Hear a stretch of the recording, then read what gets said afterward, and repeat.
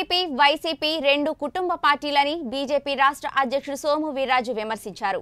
తూర్పుగోదావరి జిల్లా ప్రత్తిపాడు లయన్స్ క్లబ్లో నిర్వహించిన బీజేపీ కార్యకర్తల శిక్షణ తరగతులకు ముఖ్య అతిథులుగా బీజేపీ రాష్ట్ర అధ్యక్షులు సోము వీర్రాజు బీజేపీ రాష్ట్ర మీడియా ప్రతినిధి పెద్దిరెడ్డి రవికిరణ్ హాజరయ్యారు. ఈ సందర్భంగా సోము వీర్రాజు మాట్లాడుతూ రాష్ట్రంలో టీడీపీ వైసీపీ రెండు కుటుంబ పార్టీలు అని చెప్పారు. పోలవరం నిర్మాణం పూర్తి చేసేది కేంద్ర ప్రభుత్వం అని అన్నారు. బీజేపీ రాష్ట్ర మీడియా ప్రతినిధి పెద్దిరెడ్డి రవికిరణ్ మాట్లాడుతూ ఉపాధి హామీ పనుల్లో అధికార పార్టీ నేతలు కూలీల సొమ్ములను దోచేసి లక్షలు దోచుకు తింటున్నారని రవికిరణ్ మండిపడ్డారు. అధికార పార్టీ నేతలు వారి అనుచరులు పనుల్లోకి రాకుండా మస్తర్లు వేస్తారా అని కేంద్రం నిధులను దుర్వినియోగం చేస్తారా అని రవికిరణ్ ధ్వజమెత్తారు. ఈరోజు ప్రతిపాడు అసెంబ్లీలో ప్రశిక్షణ తరగతుల యొక్క ముగింపు సమావేశం జరుగుతుంది. ఈరోజు ఐదు కాలాంశాలు. చివరి కాలాంశానికి రాష్ట్ర అధ్యక్షులు సోము వీర్రాజు గారు రావడం జరుగుతుంది. ఈ యొక్క కాలాంశాల్లో మండల అధ్యక్షులు ఏ రకంగా గ్రామాల్లో పనిచేయాలి? ప్రధానంగా గ్రామాలలో ఎన్ఆర్ఈజిఎస్ పనులు పూర్తిగా వంద శాతం కేంద్ర ప్రభుత్వ నిధులతో సాగుతున్నాయి.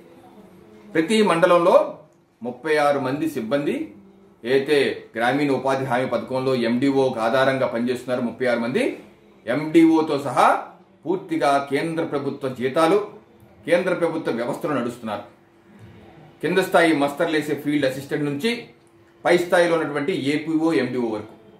ఈ యొక్క ఎన్ఆర్ఈజిఎస్ పథకంలో గ్రామాల్లో రోడ్డు వేసినా డ్రైనేజ్ కట్టినా కుళాయి కనెక్షన్ ఇచ్చినా ఇళ్ళ నిర్మాణం చేసినా అంగన్వాడీ కేంద్రాలు నిర్మాణం చేసిన అలాగే ఆరోగ్య ఉప కేంద్రాలు రైతు భవనాలు సచివాలయ భవనాలు నాడు నేడులో స్కూళ్ళ గోడల నిర్మాణం బరియల్ గ్రౌండ్ల యొక్క ఆధునీకరణ అలాగే ఓవర్ హెడ్ ట్యాంక్ నిర్మాణం అలాగే చెట్లు రెవెన్యూ ప్లాంటేషన్ పూడికి తీయటం తుప్పల పనులు ఇటువంటి అనేకమైన పనులు గ్రామాల్లో ఏ ఒక్క నూటికి నూరు శాతం ఎన్ఆర్ఈజిఎస్ పనులు ఆ దానికి నిధులు నూటికి నూరు శాతం కేంద్ర ప్రభుత్వం నరేంద్ర మోడీ గారు అందిస్తున్న నిధులు. ఈ యొక్క నిధుల్ని దుర్వినియోగం చేసే విధంగా ఈరోజు ఏదైతే ఇళ్ళ పట్టాలు ఇస్తున్నారో జగన్మోహన్ రెడ్డి గారు ఆ యొక్క ఇళ్ళ పట్టాలు ఆ భూముల యొక్క లెవెల్ పెంచడానికి కూడా మూడు వేల కోట్ల రూపాయల వరకు ఎన్ఆర్జీఎస్ నిధులు. ఆ నిధులను ఏ రకంగా తప్పుదోవ పట్టిస్తున్నారు?